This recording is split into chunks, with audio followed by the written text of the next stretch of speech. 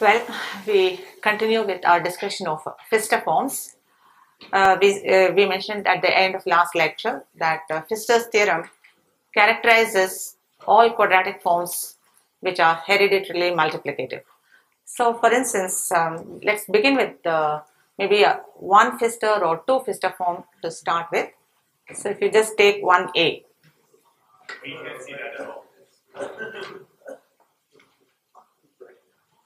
it's too bright. Ah. Ah, that's fine now. So this is a one Pfister form. So the quadratic form is simply x squared plus ay squared. And we want to say that uh, the values of this form, non-zero values forms a group. But the, the values of this quadratic form, we all know, these are simply norms from the quadratic, quadratic extension a square root minus a. Right? Assume a minus a is not a square, then the values of this quadratic form are precisely the norms from this quadratic extension. And we know the norms are multiplicative. So the for the one-fold Pfister, we already know that the values, non-zero values form a group. A similar argument also holds for a two-fold Pfister form. This is simply x squared plus ay squared plus bz squared plus ab t squared. This is a four-dimensional form. Once again, we see, I mean, that this form is precisely the norm form from the quaternion algebra. H, what we described as H minus A minus B.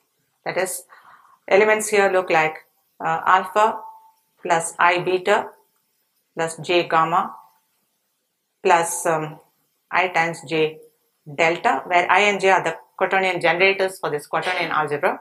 I squared is minus A, uh, uh, J squared is minus B, I and J anti-commute. And then the norm from the quaternion algebra for this element is simply alpha squared plus A beta squared plus B gamma squared plus AB delta squared. This is the norm, uh, the values are precisely the norms from the corresponding quaternion algebra H minus A minus B. And we also know that the norm from quaternions is multiplicative. So this again is a multiplicative form. One can also go one step further and when you take a threefold Pfister, I'll not uh, explain uh, explicitly what is the, there is a certain octonion algebra associated to this um, threefold Pfister form, which also has an involution, which also has a norm. And uh, this precisely is the norm form on the corresponding octonion algebra. And the norms from octonions are multiplicative. So here again, the multiplicativity follows because of properties of norm. But basically, the phenomenon stops here, and you just um, have to think of something more in order to see that for any arbitrary n-fold Pfister form, it is multiplicative. Okay, even to see it's multiplicative. Okay, so so let me begin with uh, two criteria uh, for uh, multiplicativity. I'm just trying to outline a proof of Pfister's theorem. Criterion 1 for multiplicativity. Okay, remember you say that an anisotropic form is multiplicative if the non-zero values form a group hereditarily for all extensions of the base field. That is the definition of multiplicativity. So Q is multiplicative, Q in n variables is multiplicative. If and only if uh, for variables you take two sets of variables x1 x2 xn and y1 y2 yn. You take two sets of n variables. You just take uh, the value of q on x and the value of q on y is a value of of q over. The field where all these indeterminates make sense kx1 x2 xn y1 up to yn. So you adjoin to n indeterminates and generically if the product qx times qy is represented by q over this function field in two n variables then in fact q is multiplicative and vice versa. So this is the first criterion for multiplicity. But um, it's after we have seen specialization theorems and so on we did last time, it's not uh, too strange. Because of course if q is multiplicative then this is a value of q over this function field qx and qy is also a value of q over this function field. So the product is a value of q over this function field. So the only non-trivial part is the other way is the non-trivial part to check. So that means that we are given that qx times qy is a value of q over this function field. You want to conclude that q is multiplicative this again is a consequence I guess of um, specialization. Suppose VW two vectors in Kn such that QV is not 0 and QW is not 0 and you want to show that QV times QW is the value of Q but then you can do successive specialization y to the vector W and x to the vector V. And we have seen we can specialize values. So specialization implies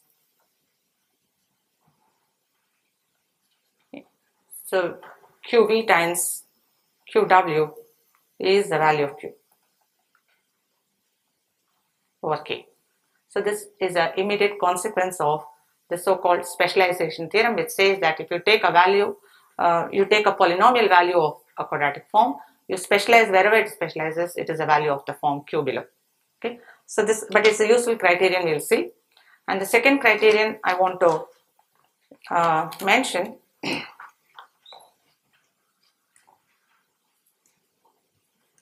criterion 2 for multiplicativity.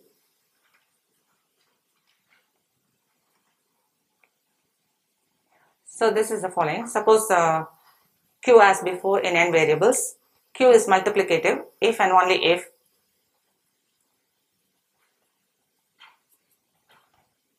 for indeterminates x1, x2, xn, a set of variables x1, x2, xn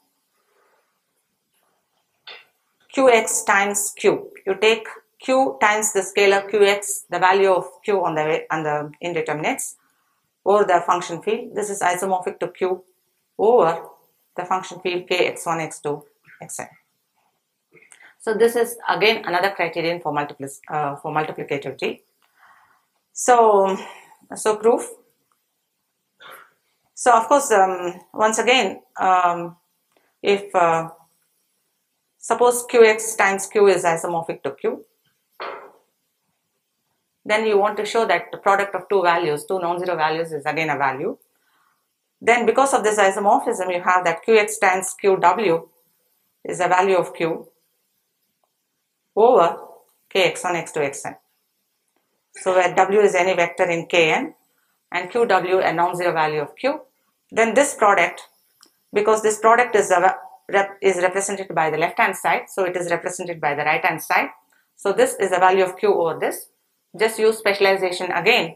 So this implies that qv times is specialized excised to any vector v where qv is not 0 is the value of q over k. So specialization gives this. The other way around okay suppose q is uh, multiplicative So if the form is multiplicative, I want to show that this identity holds that qx times q is isomorphic to q. Okay, so let us use the previous criterion. So we know that for two sets of variables, qx times qy is a value of q, q over this function field kx1, x2, xn, y1, y2, yn. So this product is a value of q over this. Now look at this as a scalar and this as, let me just write it as sigma ai yi squared where q is uh, a1, a2, an, the diagonal form. You see that this is a value of q over this function field. So once you have such an expression which is a value, we know by what is subform, what does subform theorem say?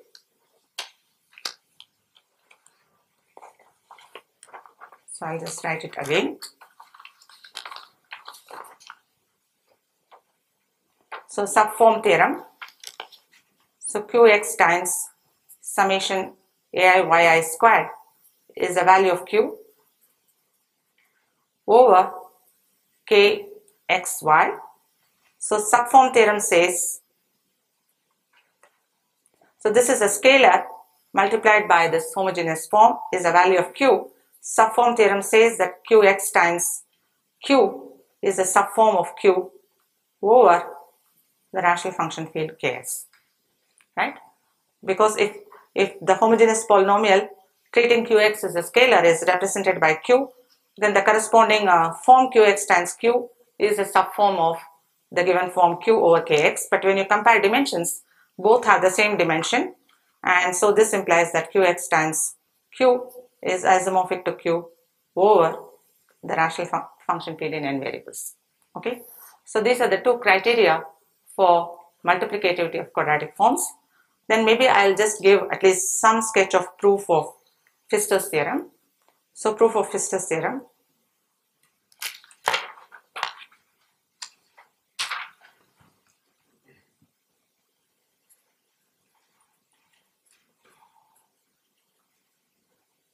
Pfister's theorem. So what are we given? We are given a form like 1a1 tensor 1a2 dot dot dot tensor 1an for some n and you want to show and let's assume that q is anisotropic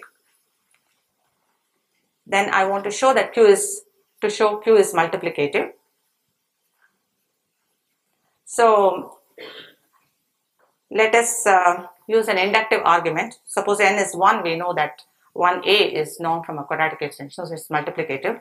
So assume that that q1 which is just given by 1a1 tensored with up to 1an minus 1, just truncate it at n minus 1, assume that this is multiplicative. Okay, and then you want to show from this that q is multiplicative. So let us take two sets of variables x1, x2, x2 power n minus 1 and y1, y2, y power 2 n minus 1. Let us take two sets of variables. So q, if you see q is the tensor product which can be written as up to n minus 1 which is q1 times 1 orthogonal an times q1. So when you just expand it out, bunching all the this part together, you get q is isomorphic to q1 orthogonal an times q1 and q1 is multiplicative. So this is q1 of x times q1 orthogonal an times q1 of y times q1 okay? Because q1 is multiplicative by the criterion which we just showed. Q1 is isomorphic to this and it's also isomorphic to this. So we have this. Now if this is let us write this as q1x comma an q1y times q1 okay this binary form times q1 now if you look at this binary form it certainly represents q1x plus an q1y right? So this binary form represents this value. So so you can write this as this is exactly the comment in uh, Conway's lecture also. This is Q1x plus an times Q1y which is represented and it is uh, just a binary form. Once you know a value, what is the other slot? It is just determined by the determinant of this quadratic form, right? So the other value is simply Q1x plus an Q1y times this Q1x put a bracket here. Times q1x times an times q1y okay? I just have to put whatever is needed to compensate for the discriminant times q1 so this is what this form is. But what is q1x plus an q1y it is just the value of q at xy right? Q of x comma y. Because q is q1 plus an q1 so when you have this substitution it is just the value of q at at the generic point x comma y comma so qxy times q1x an times q1y times q1. So now, uh, now it is uh, simple to see that you can take out this qxy factor. So you have q1 orthogonal q1x times q1 is q1 and q1y times q1 is q1 because q1 is multiplicative. So what you get is a and q1 which is just qxy times q. So we have shown that q is isomorphic to qxy times q over the rational function field kxy. So the criterion 1 implies that q is multiplicative. Okay, so this is the proof that the form q is multiplicative. I'll just leave it to you to work out the other way implication that in fact any form which is multiplicative is isomorphic to an n-fold Pfister form. Okay. okay, so now we have a complete characterization of what are all the anisotropic forms over a given field which are multiplicative. Okay, so one of the immediate corollaries, which is a very, very useful fact, is that Q, um, Q is n-fold Pfister. Then Q is isotropic. Once it is isotropic, then it is completely Q is hyperbolic. Okay, once the form represents zero non-trivially, then it becomes completely split. It is the hyperbolic form. This is a very, very, very special property for multiplicative forms. So the proof, suppose um, Q is, suppose it represents uh, uh, as zero non-trivially, then we know that we can split off some number of hyperbolic planes and then split off Q1. Q1 is anisotropic. This is Witt's decomposition.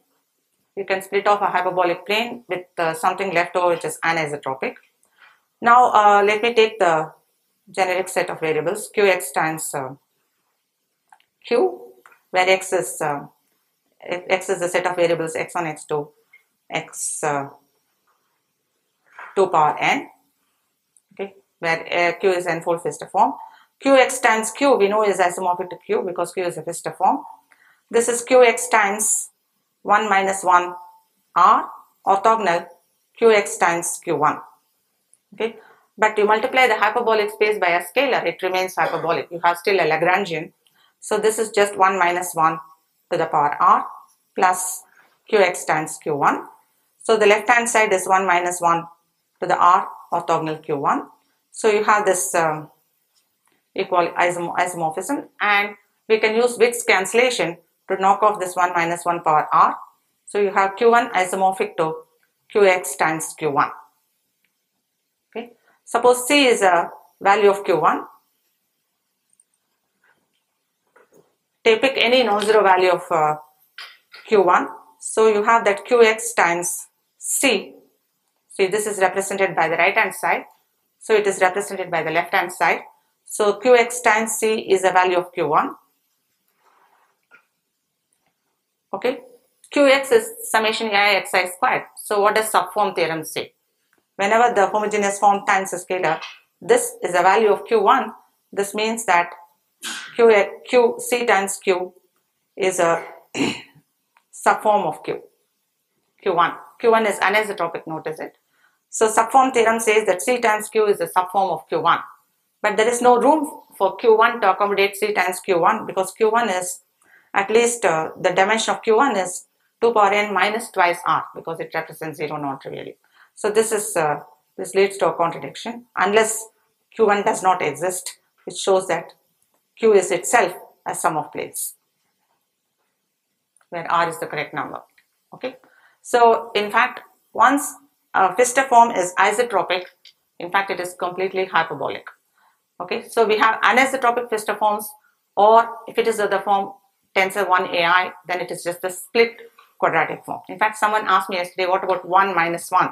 It is 0 in the group. Do you think of it as a Pfister form? By definition, 1 minus 1 looks like 1 comma a. It is Pfister, but it is the 0 Pfister form. Okay? There is the class of all 0 Pfister forms and the class of all anisotropic Pfister forms. These are the only two possibilities. Okay, so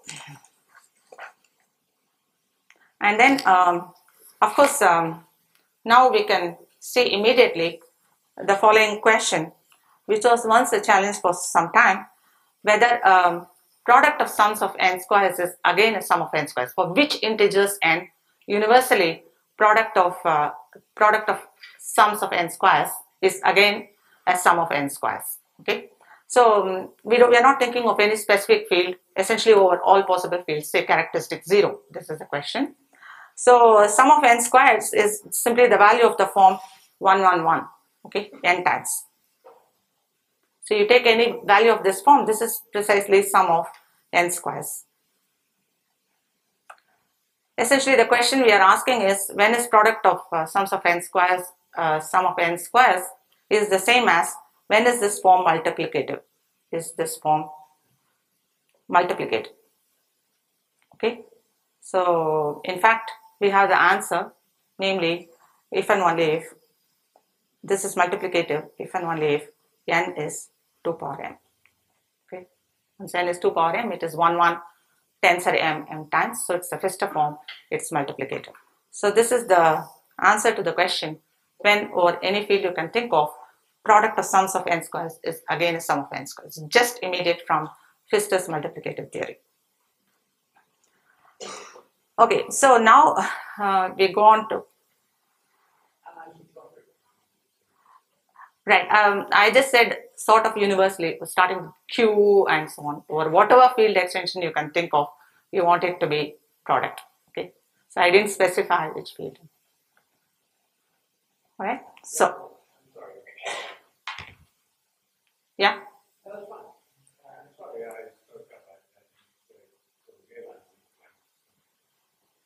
Okay. So uh, now uh, I'll start with uh, uh, one invariant associated to fields, the so-called the level of a field. So level of a field. So this is uh, denoted by S of k. So this is the first numerical in, uh, integer invariant associated to fields. This is the least integer n such that minus 1 is the sum of n squares.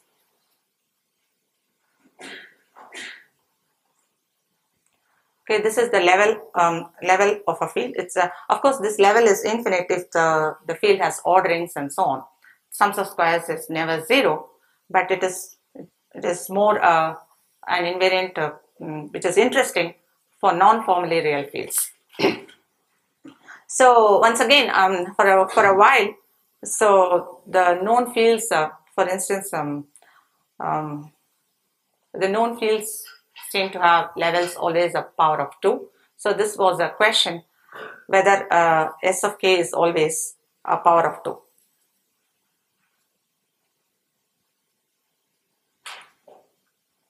Okay, so I'll straight away show because I don't want to spend time on examples which you can think about. So in fact, uh, Pfister's theory answers this question immediately. Okay, in fact, the level of a field is always a power of 2. I'll just say in one line why this follows from. By the way, I mean, I was just told that I removed the slide too quickly, so you can't see. But just raise your hands in case I'm too quick so that I can put it back. So, okay. so, suppose uh, m is equal to level of k, just finite, let me assume. So, I want to say that m is a power of 2 so let us uh, choose integer n such that m lies between in this range. So I know that minus 1 is u1 squared plus u2 squared dot dot dot un squared. Ui is in k star. So you can express this as the sum of m squares. Let me split the sum into the, so I'll just write 0 as u1 squared plus u2 squared plus u 2 power n squared plus u 2 power n plus 1 squared. I'll split the summation into two parts u n squared plus 1. Okay, I'll just take this to the other side u1 squared plus u2 power n squared is equal to u2 power m plus 1 squared dot dot dot un squared plus 1 okay so and this sum is not zero because the level is uh, 2 power n is bounded by m and minus 1 is not a sum of fewer than n squares. Okay so this side cannot vanish so i can as well divide by this sum. So i have 2 power m plus 1 squared dot dot dot un squared plus 1 divided by u1 squared plus u 2 power n squared now if i look at the numerator and denominator each one is a sum of at most 2 power n squares, right? So this, I'm starting with 2 power m plus 1. up to going on up to m by this range. So this is the sum of at most 2 power n squares. This is the sum of 2 power n squares. By Pfister's theory, I know that this ratio is again ratio or product, it doesn't matter because it differs by a square. This is the sum of 2 power n. Okay, this is a sum of 2 power n squares, which means that the level of k is actually equal to 2 power n. Okay, so the level of a field is always a power of 2 and um, maybe I'll just mention which I may use later on that if K is a p-adic field and suppose Q is the number of elements in the residue field of FQ is the residue field. Basically you would like to know when is uh, minus 1 a square or sum of two squares. This is the kind of questions. So S of K is 1 if Q is 1 mod 4 is um, 2 if Q is 3 mod 4 and uh, P is odd and then S of Q2 okay? Is 4 okay? Minus 1 is the sum of 4 squares and no less in Q2 and uh, if you take K over Q2 or degree extension then in fact S of K is also 4 cannot be smaller than 4 this is a consequence of the following uh, result of Springer, which says that if Q over K is a quadratic form, and um, you take an odd degree extension, so L is to K odd degree, then if Q becomes isotropic over L, then in fact Q is isotropic. This is one of the very basic theorems uh, in quadratic forms that a quadratic form, if it acquires a non-trivial zero in an odd degree extension, already over k, it has a non-trivial zero. Okay, if you use this and the moment's reflection yields that if you take an odd degree extension of Q2, then the level is still 4. Okay, so I'll go on to the next invariant associated to quadratic forms. This is the U invariant. This is again a integer uh, integer in, integer valued invariant associated to fields. So u of k is simply defined to be the maximum of dimension of q where q is anisotropic over k. Okay. So you take uh, anisotropic quadratic forms and look at their dimensions. You take the maximum of these dimensions. That is defined as the U invariant of a field. Once again, this U invariant um, is not so interesting for fields with orderings and so on. In fact, it is interesting for fields with orderings. It, it is it is defined, it, it has an alternate definition which makes it finite for with odd but we are not going to enter into that discussion. So, um, I mean, uh, let's look at some examples. Of course, U of uh, complex numbers is 1 and um, a finite field is 2. Every three-dimensional quadratic form or a finite field has a non-trivial 0 and if you take a transcendence degree 1 field or an algebraically closed field, then U invariant is still 2. And uh, this is Tsen's theorem. So you take a p-adic field, you know that every 5-dimensional quadratic form or a p-adic field has a non-trivial 0. Uh, and there is a 4-dimensional quadratic form we have written down which is anisotropic, namely the norm form from the quaternion division algebra. So the U invariant of QP is 4 and uh, if you take, for instance, a totally imaginary number field, then you have this Hasse-Minkowski's theorem says that if locally a form has a zero, it has a zero over the global field. So this is again 4. So another one more important class uh, I want to write down is the following. Suppose u of k is n for a field, for a field k, then I would like to know what is u of k double parenthesis, the Laurent series field. Okay, this is precisely twice n. Okay, this is easy to see because as we said earlier, the Laurent series field, the square classes are easy to decipher. Okay, so every square class here is either, um, I'm throughout assuming characteristic k is different from 2. Either it is a, the scalar square class, a square class from k star or a, a square class from k star times t. Okay, these are the square classes in the Laurent series field. So any quadratic form here looks like u1, u2, ul orthogonal T times V1, V2, Vs. Okay, where Uis and Vis are in K star. So any quadratic form in your diagonals, it looks like this. And suppose if L exceeds N, so this form is isotropic over K already, therefore it is isotropic over K double parenthesis T. On the other hand, if S exceeds uh, N, so this part V1, V2, Vs is isotropic. So T times that is isotropic. So this sum, orthogonal sum, is always isotropic if L exceeds N or S exceeds N. Okay. Therefore, you see that if dimension of Q is bigger than 2n, Q is isotropic.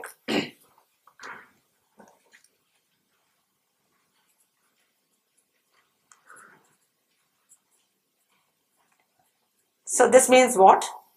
This means that the U invariant of K is bounded by 2n. Now I have to uh, produce a form which is anisotropic of dimension 2n. Suppose Q naught is anisotropic over K of dimension 2n because q the u invariant of the base field is n. So you can find an anisotropic form of dimension n over k. So i just take q naught plus t times q naught itself.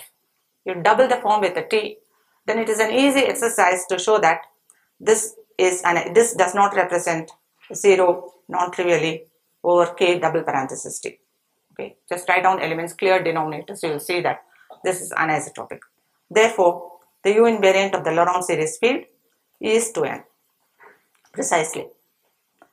Okay, as I can just go a little more general than this and say that suppose K is a complete, this, this is a, an example, K double parenthesis, this Laurent series field is a typical example of a complete discrete valuated field whose residue field is little k. The valuation is given by value of t is 1. Okay, that's the discrete valuation.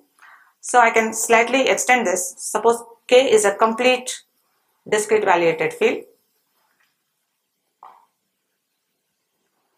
And suppose kappa is the residue field. and suppose, I mean, of course, let's assume that characteristic of kappa is different from 2. Then if U invariant of kappa is n, then U invariant of capital K is twice n. Okay. So you just need to replace this, getting it a scalars to something in units and then use Hensel's lemma okay, as a substitute. So this is, uh, so in particular, you see immediately that from U invariant of FP, a finite field is 2, that U invariant of QP is 4 for instance.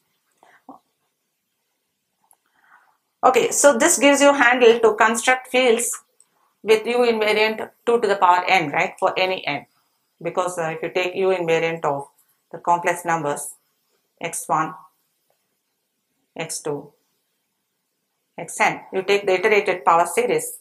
Okay, each time the u invariant goes up by twice that.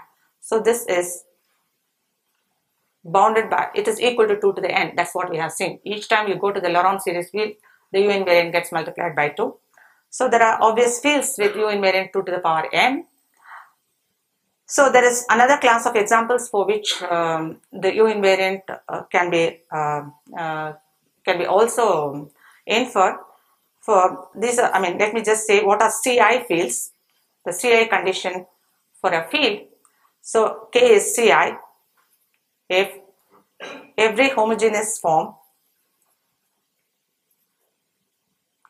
in in n variables and degree d with um, n strictly bigger than d to the power i has a non-trivial 0 in k. So non-trivial 0 in k. Okay, so if you take a forms with the number of variables far exceeding the degree to the power related to this i, then such a form has a non-trivial 0 is the CI condition. So if k is CI, then you know that there is a bound on the dimension of anisotropic quadratic forms because quadratic forms the degree is 2 and if the number of variables is n, if n exceeds d squared, then it is necessarily isotropic, right? So, um, u invariant of k 2 to the i. So, the u invariant of ci fields is bounded and then you can use this remark to show that if you take for instance the rational function field in n variables over complex numbers, the U invariant, of course, it is bounded by n, but then you can show it is precisely n, and it is an exercise to show that if you take the, this n-fold Pfister form, 1t1 tensor 1tn, this generic n-fold Pfister form, this is anisotropic over C. So the rational function field in n variables over complex numbers has U invariant precisely 2 to the n. Okay, so these examples are sort of uh, fields which are natural, uh, which occur in nature. They all seem to have U invariant a power of 2. So this led Kaplansky to ask the question, is U of k always a power of 2?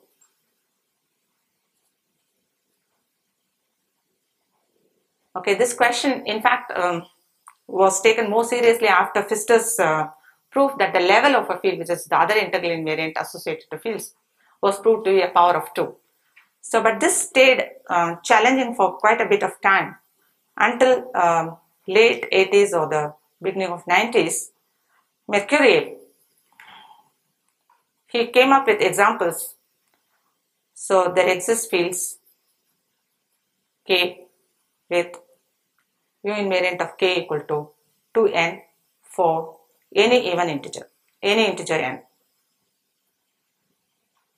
Okay, so he constructed fields with U invariant any given even integer. In particular, for instance, uh, 6 was the first non-trivial open case. Whether there existed fields with U invariant 6 was the first non-trivial case. And in fact, one, uh, one knew that uh, 3 5, 7 are not U invariants for any k. See, this is, uh, I think it is an easy exercise to prove this using Pfister's theory. It's elementary. So you can you can show that 3, 5, 7 can, for instance, let me say uh, 3 for instance. So if you take a rank, uh, suppose there is a rank 3 form which is anisotropic, anisotropic over k. I want to show that uh, then there is a rank 4 form which is anisotropic. Then the U invariant cannot be 3. Okay. So by scaling the form, I can assume that it represents 1. So I can write the form as 1 AB AB. So this, uh, this form is anisotropic would mean that if you take this uh, 1 AB AB, complete it into a four-dimensional form with discriminant 1, this is anisotropic. Is it clear? Because this 1 AB AB is a Pfister form Otherwise, if this form is isotropic, what happens? It's actually hyperbolic. So this will be isomorphic to the split hyperbolic form, which is 1 minus 1, 1 minus 1. But I can rewrite this as 1 minus 1, say AB minus AB, because AB minus AB is isomorphic to 1 minus 1, which is hyperbolic. Now, I can cancel um, AB. So you get that 1 AB is isomorphic to 1 minus 1 minus AB, which means that this form represents, contains this hyperbolic plane. So the form you started with becomes isotropic. Yeah? Yeah. So once the rank 3 form, uh, if the associated rank 4 form built from the rank 3 form by adding the discriminant, if that is isotropic, already the rank 3 form is isotropic. So 3 for instance cannot be U invariant. So 5 and 7 also in a similar fashion, little more of Pfister's theory would give that you cannot have 5 and 7 as U invariants. Okay, so the Merkurjev's examples starting with 6 were something which was um, which came as a sort of um, um, unexpected answer to this question. Okay, so, um, and uh, of course there are further questions. What are all the missing U invariants for fields? How about the audio U invariants? I'll just state that uh, uh, there exists field with U invariant fields with U of k is 9. So this, this came about 10 years later from Izhboldin. And then um, essentially I think 2008 or something, so Vishik showed that there exist fields with U invariant of the type 2 power n plus 1 for any n. So this is Vishik. Okay, still there are questions. Uh, are these the only U invariants in odd numbers or there are other gaps and so on. I mean, there are open questions around for the possible U invariants which are odd numbers. Okay. Okay, so now I just want to uh, explain that um, the U invariant, the behavior of the U invariant under purely transcendental extensions is very little understood. You go from k to k of t and suppose u of k is finite. That is, there is a bound for the dimensions of anisotropic forms. Does this imply that u of the rational function field, this is finite? Okay, this is a completely open question. One does not know in general if the u invariant of a field is finite, whether that implies the u invariant of the rational function field is finite. But the most tantalizing part is that this is open already when k is q2 for instance, the field of dyadic numbers. Okay, we know that u of q2 is 4. So the question is what is uh, uh, is u of q2 of t finite? This one does not know whether there are arbitrarily large dimensional anisotropic forms over q2t or it has a finite u invariant, one does not know. In fact, what is the expectation? So the expectation is that the u invariant is 8. This is in analogy with the positive characteristic. Suppose you replace QP by a positive characteristic local field. That is, you take a finite field and you take Laurent series field in one variable over a finite field. okay, QPT, you're going to take rational function field over QP. So let's take rational function field, maybe X, Laurent series in X say. So let us take FQ, Laurent series X, which is a positive characteristic local field, and then you take rational function field in one variable over this field. Now, FQ is C1. So FQ double parenthesis X is a, actually a C2 field, and this whole thing is a C3 field. And so you can show that in fact U invariant of this field is exactly 8. It, is bounded by 8 because it is C3 but in fact it is equal to 8. You can just uh, produce a 8 dimensional form over this field which is anisotropic. So um, expectation U invariant of QPT is in fact 8. So this is the this is the sort of conjectural value of this. And um, in fact in fact one uh, knows today that uh, that u invariant of qp of t is 8 if p is different from 2 so for all uh, odd p's you take the p-adic field and you take the rational function field in one variable.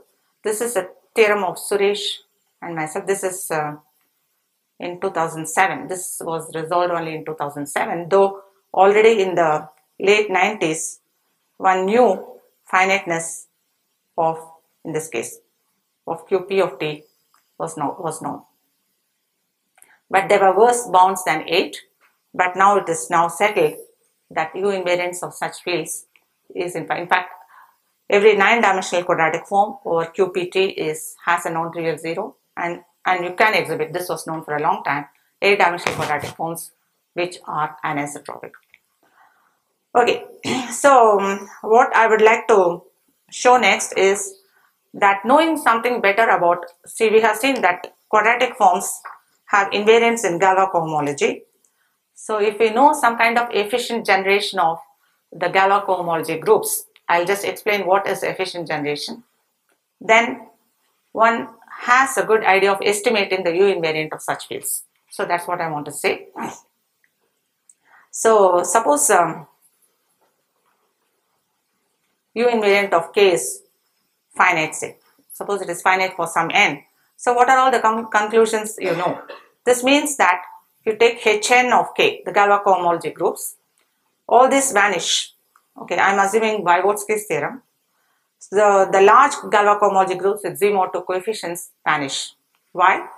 Because you have a surjection of In of you grant Milnor conjecture, you have a surjection of In of k to Hn of k. Let me remind you, these are the Galois cohomology groups I introduced yesterday.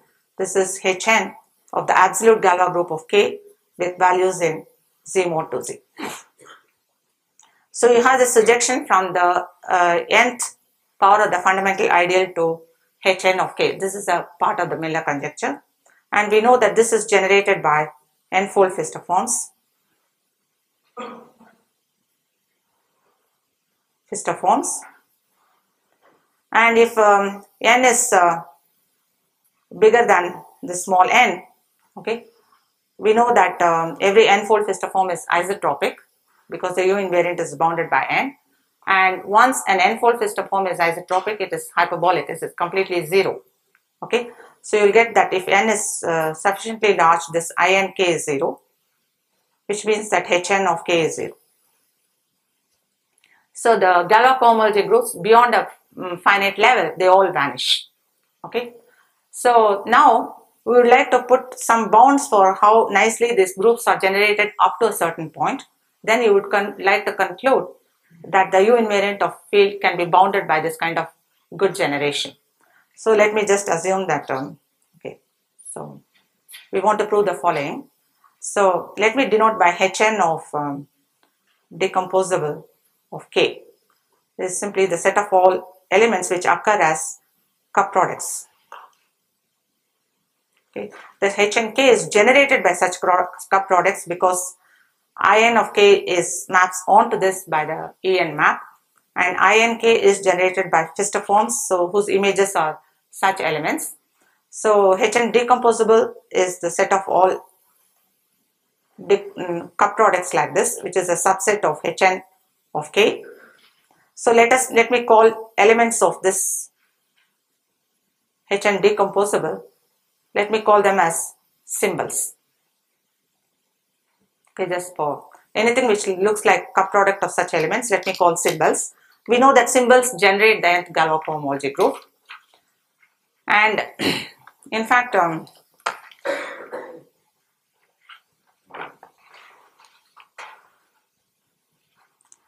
okay, Suppose I put the following condi condition with conditions. Suppose Hn uh, Hn of k is 0. The nth Galois cohomology is 0, which would mean that all the higher ones will also be 0 by Voevodsky's theorem. And suppose the lower cohomology groups Hi of k is uh, in Hi of k, every element is a sum of is a sum of at most um, uh, ni symbols. How many minutes I have? One minute.